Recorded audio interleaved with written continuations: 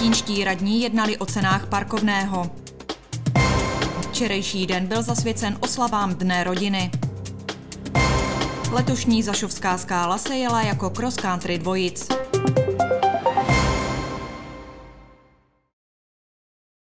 Hezký den. Také dnes jsme tu pro vás s novinkami z Valašska. Pojďte se podívat, co je nového. O záměru v Setínské radnice spoplatnit další parkovací stání v centru města jsme vám už říkali. Týká se hned tří parkovišť, na kterých byly v minulých týdnech nainstalovány automaty na placení parkovného. Zatím jsou ovšem mimo provoz. Na včerejším zasedání Rady města se jednalo o výši poplatku, který se tu bude za stání vozidla vybírat. Na svém úterním zasedání jednali v Setinští radní o výši parkovného na několika nových místech v centru Vsetína. Tak jak jsme již v minulosti avizovali, budou spoplatněna nově tři parkova, parkoviště, a to u Věžového domu, na Hlásence před městským úřadem a naproti gymnáziu Tyršova ulice. Všechny tyto parkoviště jsou už osazeny automaty. Například na Hlásence a na Tyršově ulici přijde zaparkování na 10 korun za hodinu. Jiný režim je u parkoviště Věžový dům, kde je parkování za 10 korun za hodinu, maximálně za 30 korun na celý den. Platit parkovné se konkrétně tady bude od 8 do 16 hodin. Cílem všech těchto opatření je především u těchto eh, významných a strategických míst zajistit propustnost parkovišť tak, aby každý návštěvník města, který přijede ať už na úřady nebo do středu města, měl možnost pohodlně zaparkovat a zamezilo se tím přejíždění města a hledání parkovacího místa. Zakoupit na parkoviště u nádraží půjde také speciální celoroční karta za 4 000 korun. V případě problémů s parkováním v sousední místní části kolonie bude radnice realizovat záměr rezidenčního stání. Platit se na všech třech parkovištích začne nejpozději od 1. července. Už od roku 1994 se 15. května slaví Mezinárodní den rodiny. Letos se k oslavám, které o tomto datu probíhají na různých částech naší republiky i celého světa, připojil i Frenštát pod Radhoštěm.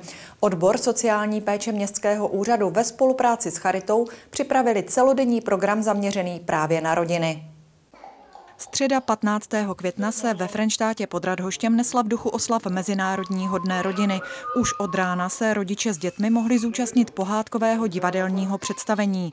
Nejmenším byly určeny také skákací atrakce a soutěže o drobné ceny. 1, 2, 3, 4, 5, 6, 7, 8. No, Tady máš. Kubí. Podívej, co to pro tebe mám. No? Odpolední program byl určen odborné i širší veřejnosti. Seminář se zaměřil na několik problémů, kterým dnešní rodiny musí čelit čelit? Mají spoustu problémů samozřejmě od eh, možná ztráty zaměstnání a tím pádem neschopnosti zabezpečit tu rodinu, jak po stránce samozřejmě materiálně, tak ale zejména po stránce výchovné. Potom samozřejmě řešíme problémy neúplných rodin, to znamená, jeden z rodičů je samoživitel. Jednotlivé diskuzní příspěvky byly zaměřeny na současný stav rodiny, náhradní rodinnou péči, mezigenerační vztahy i na rizika dluhových pastí. Frenštátský den rodiny uzavřelo vyhlášení výsledků výtvarné a literární soutěže. Ta byla určena žákům a studentům základních a středních škol. Aby se vyjádřili na téma eh, moje rodina, co to pro ně znamená a mm, tím vlastně dostali do povědomí to, že je normální, když eh, je prostě rodina úplná, nikoliv rozdělená. Ocenění za svou tvorbu si převzali autoři obrázků i vyprávění. Zvláštní cenu udělila porota Dominiku Bražinovi za koláž s fotografií členů své rodiny. Můj nejoblíbenější člen rodiny je moje sestřenice Lucka, protože jsme si tak nejblíž, tak si mi tam dal. Cenu v kategorii literatura si kromě jiných odnesla i Žaneta Stránská, která upřímně popsala svůj vlastní příběh. Napsala jsem tam že eh, vlastně jsem eh, si přála, ať eh, přijdu o svoji rodinu, že mě naštvali něčím, chtěla jsem prostě žít sama už jako velká holka a nakonec jsem zjistila, že život bez té rodiny vlastně si neumím představit a že ta rodina je všechno, prostě co máte a je největší štěstí, když ji máte.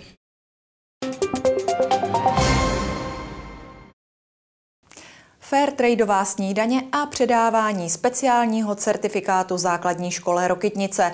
Právě tyto dvě akce se uskutečnily v minulých dnech ve Vsetíně. Značku Fair Trade v překladu férový obchod najdete na různých druzích zboží, za které výrobci ze třetího světa dostanou spravedlivou odměnu. Dodržovat však musí i další zásady. Při výrobě zboží například nesmí zaměstnávat děti. V sobotu dopoledne byla na Vsetínském dolním náměstí připravena snídaně z tzv.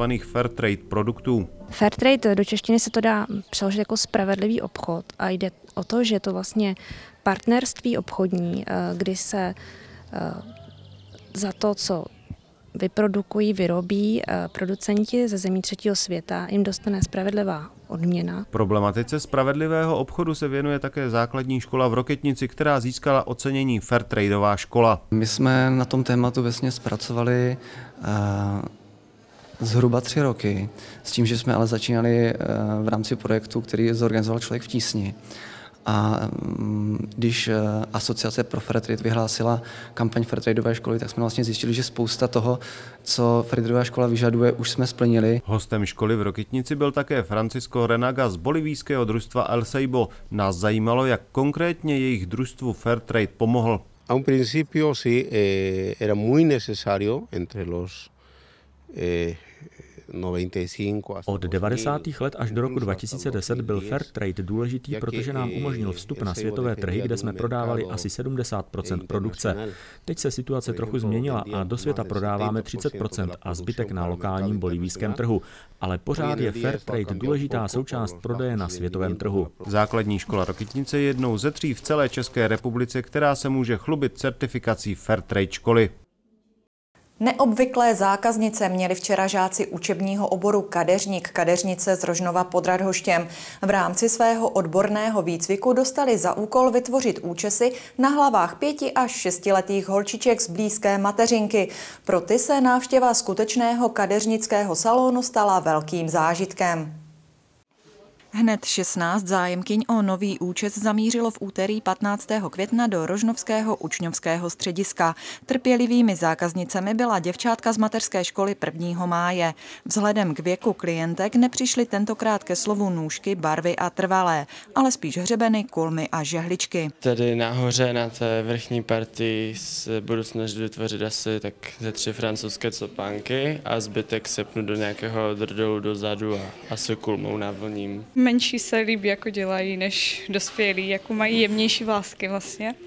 A tak teďka jsem se vlastně pustila do kulmování jako žehličkou, eh, že ty vlny jsou přirozenější než kulmování jako normální kulmou. Kromě loken jsou v dětských účesech právě v kurzu také culíky anebo nejrůznější druhy důmyslně spletených copů. Zvolila jsem ji kvůli tomu, že tady holčička má krátké vlasy a jelikož by to nešlo třeba na vlní, tak proto jsem zvolila copánky a má jemné vlasy, takže je to parádně. Podobná setkání budoucích kadeřníků a kadeřnic s nejmenšími klientkami pořádá Rožnovská střední škola elektrotechniky, informatiky a řemesel, pod kterou učební obor kadeřník kadeřnice spadá každoročně. Jsou to holčičky a ty se rády parádí, takže se jim to tady líbí a jsou spokojené s kudrlínkama, s různýma copánkama. Aby jsme se, se nakadeřili a aby jsme si vyzkoušeli, jaké to je aby jsme byli krásnější holky.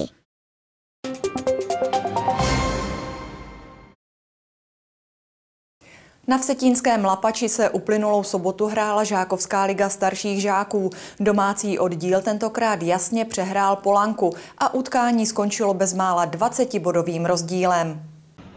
Starší žáci zbrojovky v Setín hostili na domácí házenkářské palubovce celek DT je Polanka. Lépe do zápasu Žákovské ligy vstoupili domácí v červených dresech, i když prvních šest minut bylo k vidění jen vzájemné uťukávání a na každou střelenou branku dokázali hosté i hned odpovědět. V šesté minutě byl stav 4-4, pak ale domácí nastartovali velmi kvalitní brankostroj a sedmi trefami v řadě se jasně ujali vedení.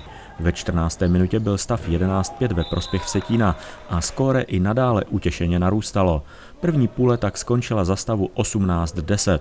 Druhá část začala sice brankou hostů, ovšem hned poté Vsetín Polance rozvlnil síť čtyřikrát. To už bylo jasné, jakým směrem se další vývoj zápasu bude ubírat. Červení sice poté mírně polevili, i přesto však postupně zvyšovali svůj náskok. V 15. minutě byl stav 29-17 a hned poté přišla další, tentokrát sedmibranková řada, kterou domácí své hosty definitivně vyřídili. Vsetín tak vyhrál nad Polankou celkově 41-20.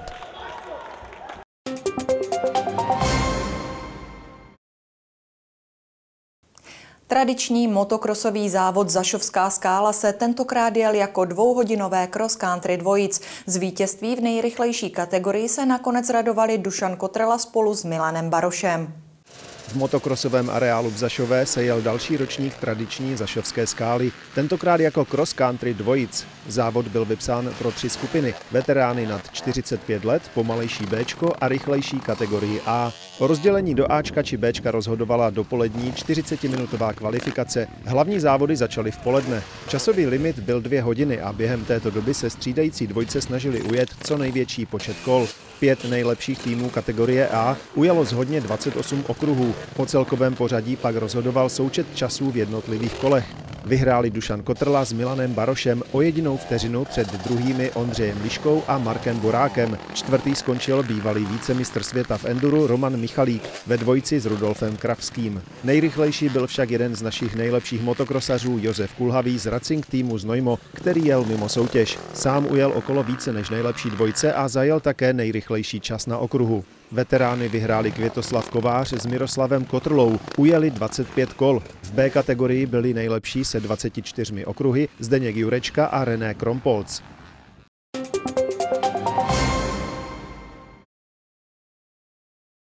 Z dnešního zpravodajství je to všechno. I zítra se s vámi budu těšit na viděnou u dalších zpráv televize Beskyt.